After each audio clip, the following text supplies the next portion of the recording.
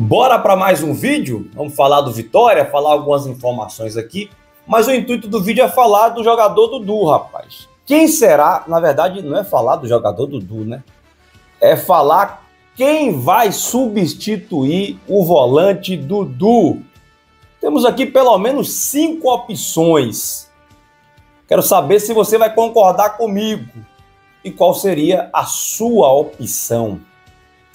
Mas antes, tem outras informações para passar para você. Olha, rapaz, o número de sócios já passou de 39 mil. Até o momento que eu olhei, 39.013 sócios.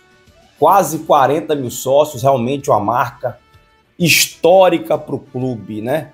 Ninguém, o mais otimista torcedor, não esperava isso, pode ter certeza. Rapaziada, segundo aí a Rafaela Reina, do canal do Dinâmico, o jogador Camutanga sentiu desconforto muscular, rapaz, e pode ser dúvida para domingo. Notícia ruim, viu? Mas vou apurar isso melhor durante o dia. Vamos ver a situação do Camutanga, tá? Agora sim, vamos falar do jogador Dudu, que se pronunciou nas redes sociais, fez um textinho lá para a torcida do Vitória e eu vou repercutir aqui com vocês. Mas antes quero pedir para você deixar o seu like e para você se inscrever no Resenha do Leão. Temos uma meta de chegar a 30 mil inscritos até domingo. Então eu vou contar muito aí com a sua colaboração e com a sua ajuda. Bora para o texto de Dudu, vou colocar na tela para você acompanhar. Nação rubro-negra, sei o tamanho da importância de ver o Leão de volta à elite do Brasileirão. Todos nós queríamos isso. Infelizmente, vou ter que ficar um período parado. Relutei para deixar o campo por conta de minha vontade de querer defender o clube graças a Deus, é, não será necessário fazer cirurgia. Ficarei de fora, torcendo junto com vocês pelos meus companheiros. Em breve estarei de volta, se Deus quiser. Pega, Leão. Que Deus abençoe aí o nosso, nosso Dudives, rapaz. Grande jogador. Realmente, um jogador que me encanta. Me encanta pela sua vontade, pela sua disposição, pela sua raça. E sabe, por, por ser aquele jogador que tira o time de trás, velho. Sabe, muito bom jogador. Cão de caça, jogador que dá o combate. Então, para mim, Dudu, uma perda irreparável, talvez insubstituível, né? Na minha opinião, obviamente, né? Então é o seguinte, nós vamos agora falar quem pode substituir o Dudu? Os treinos começam hoje, os treinos táticos e técnicos. O treinador vai começar a testar hoje, né? Quem vai ser o substituto? Tem o Luan, Luan Vinícius, volante que veio de São Paulo.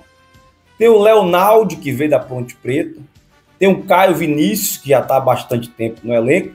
Tem o Jean Mota e tem o Daniel Júnior. Jogadores aí com características Diferente, meus amigos, diferente. Antes de falar da, das possibilidades, quero dizer a você que os nossos vídeos têm oferecimento de Uniagro, na fazenda ou no estádio agro, em todos os campos. O Luan é aquele jogador mais preso, né? Não tem tanta característica de ir para frente. Parece mais até com o William Oliveira. Ficaremos com dois jogadores ali, praticamente com a mesma função não seria a minha prioridade colocar o Luan Vinícius, tá?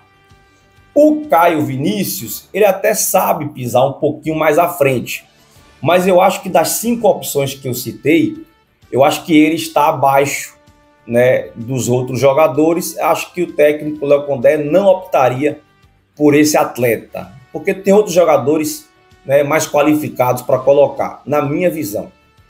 Se ele entrar com o Jean Mota, é um jogador mais leve. Não é um jogador, sabe, que tem um perfil forte de marcação, mas é um jogador que vai para frente. um jogador que faz a função ofensiva. É um cara habilidoso, é um cara que tem técnica, é um cara, um camisa 10, digamos assim, né? O Jamoda pode jogar de camisa 10. Tem categoria, tem habilidade para isso. Mas perderíamos muito no poder de marcação. Tem também o Daniel Júnior. Esse, é, junto com Caio Vinícius, eu acho que seria aí as opções é, menos provável que aconteça. Agora, na minha opinião, vai dar o Leonaldi, porque o Leonaldi se parece mais com o estilo de Dudu. Qual estilo, Marcos? Estilo de marcação forte, de pegador e que sabe para frente, sabe jogar também na frente. Então, eu escolheria o Leonaldi e acho que o treinador Léo Condé vai optar também pelo jogador Leonaldi, beleza? Então, qual é a sua opinião? Quem você colocaria no lugar do jogador Dudu? Um time mais leve para ir mais para frente ou um time mais pegador, né, mais mordedor? Depende do seu ponto de vista de entender o futebol. Eu gosto de um jogo, de um jogo mais pegado, um time de uma marcação mais forte. Eu né? acho que isso ganha muitos jogos hoje. Então, na minha visão, eu prefiro assim. Ainda falando de Dudu, rapaz, eu li o texto dele aqui, mas não falei a previsão de volta, né? previsão de um mês, 30 dias aí pelo menos, o Dudu afastado, e eu espero que seja somente 30 dias mesmo, que isso não se prorrogue mais. Então era esse o conteúdo.